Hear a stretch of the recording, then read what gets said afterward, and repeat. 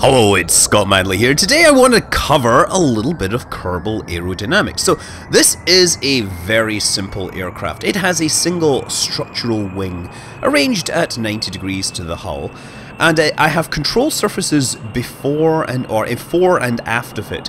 I purposely did not attach the control surfaces to the rear of the wing because I'm going to be adjusting the wing sweep on this and showing how it changes in both the stock aerodynamics model and the Ferram aerodynamic model. Now I have a single turbojet and I am able to make this thing fly at about 186 meters per second. Now that's of course because I'm keeping it low in the atmosphere. Also at this altitude I can turn pretty hard there. Look it kind of pops up around 6, 7, 8 Gs basically. Now, other than the obvious turbojet here, this is supposed to represent uh, like a World War II fighter with straight wings. Of course, as aerodynamics got better understood, swept wings became the norm, and in this case you can fly an aircraft with swept wings. What I've done is I've just used the rotation tool to sweep these wings back. And in real world aerodynamics, this would help me uh, go faster because it would reduce the drag once I get uh, into the transonic region. Unfortunately, this thing kind of just caps out at 186 again because Kerbal Space Program doesn't really model that. Furthermore, when I perform the turn, I'm only able to turn at about 5 Gs. The lift from the wings has been reduced, but the drag has more or less stayed the same. Now, going to extremes, you can sweep those wings all the way back in default Kerbal Space Program. And, well, what happens? Well, we, of course, we throttle up to speed, pull up the gear. We have to be moving a lot faster to get off the runway here. And you can see the angle of attack that I'm having to pull is significantly higher here compared to what I was doing in the previous hulls.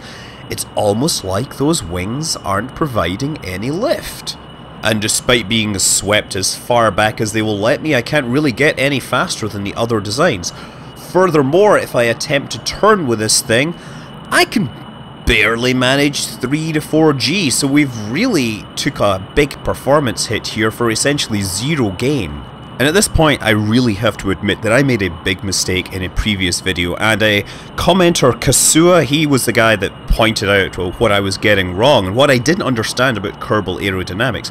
Now, just for example, I've swapped the wing in completely the opposite direction.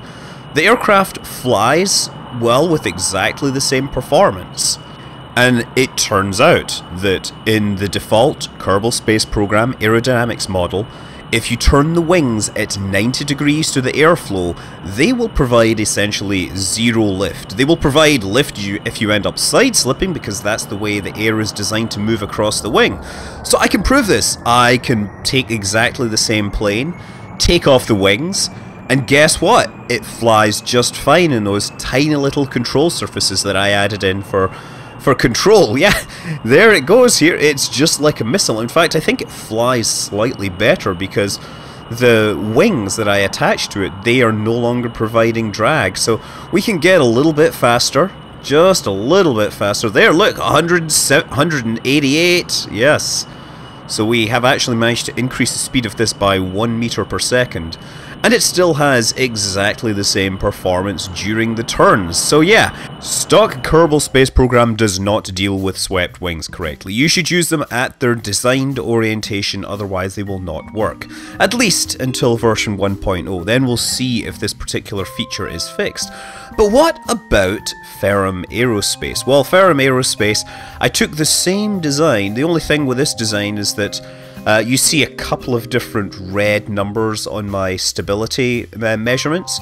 So what I gotta do is grab the wings and make them make them slightly further back. That generally increases stability. As I've pointed out, a lawn dart is an extreme example with the tail at the back. It is in a very stable flight. Now, people actually express incredulity that a lawn dart is a stable aerodynamic body. It is a stable aerodynamic body. It goes perfectly well in a straight line. It will naturally align with the, the airflow and therefore you will never find it going backwards. It will of course end up going straight into the ground, but that is completely unrelated to whether it was on a stable aerodynamic trajectory. Anyway, we're going to perform the same measurements of velocity below 200 meters And again, we're going to sweep the wing and see how Ferram Aerospace behaves. Now, right away, you see, Ferram Aerospace is a lot faster. I'm clocking in at almost 300 meters per second. There we go, 300 meters per second. We are definitely in the transonic region. We are passing through the sound barrier, but I think we're going to top out roughly in the 300, not, not much faster than this. We're definitely still picking up a little bit of speed, but we're now, it's becoming increasingly hard. I'm having to wait increasingly long for my velocity to increase. 364, 65, 66. And you can also see that as I'm trying to maintain my altitude below 200 meters, the small adjustments that I am making to my attitude are causing the G meter to jump up and down, almost up, up above. Whoa, there are 9 Gs there. So let's see what happens when I take those exact same wings and sweep them by 45 degrees. Now, I've also adjusted the position of the wings to move them slightly forwards because uh, Ferram Aerospace does a much better job at modelling this surface and as a result the lift is being translated through the centroid of the wing. I, I presume it's the centroid, it's coming through the middle of the wing anyway. And that means that as they sweep backwards, the lift center of lift moves backwards and the aircraft can actually turn into a lawn dart, right? As I was saying. Anyway, uh, this thing just keeps on going. We're through the transonic region, we're over Mach 1, 370, and you see, the difference in these wings is actually adding 10, 20 meters per second to my top speed. Also, when I right click on the wing, you can see the current drag is about uh, 11 to 12 kilonewtons. Now, we've only reduced the drag on the wings, the rest of the aircraft is still generating the same level of drag. But even with that small reduction, we are now over 410, almost four, yeah, 410 meters per second. We are really starting to move. So turning on the visualization of the drag, a lot of the drag is coming from that nose and those little control surfaces. I mean, beyond modeling the wings correctly, Ferram Aerospace also models drag on all the other parts. And if you'll notice, large parts of the fuselage are essentially shielded by that cockpit there. Now we can pull a quick turn here. Look at the G's going way over the top there and everything holds together, thankfully. So anyway, let's see what happens when we take those wings and we sweep them back a whole 90 degrees. Now, the airflow is running edge on over the wing, but the wing is constructed that way. What does Ferram Aerospace do? Well, it actually does a much better job. It presumes that the aircraft was designed like that, and that the wings should actually provide lift. So it will exchange the span and the chord of the wing, because I've reoriented this way.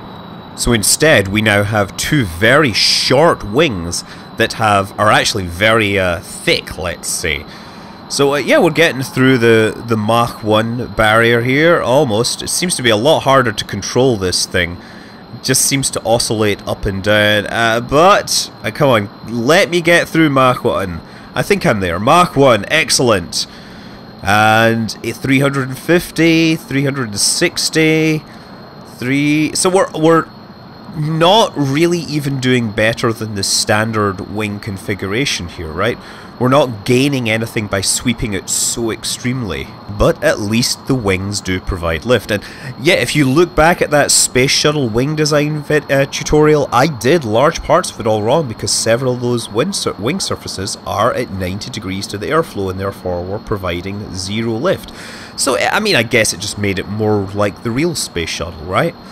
Anyway, since we're here, we should probably perform a hard turn just to see uh, what else Ferram does for us. Yeah, look at that. Those little front wing surfaces came off. So Ferram does make the aircraft faster. It makes things a lot more fun. However, it does have a reputation for causing wings and stuff to fall off.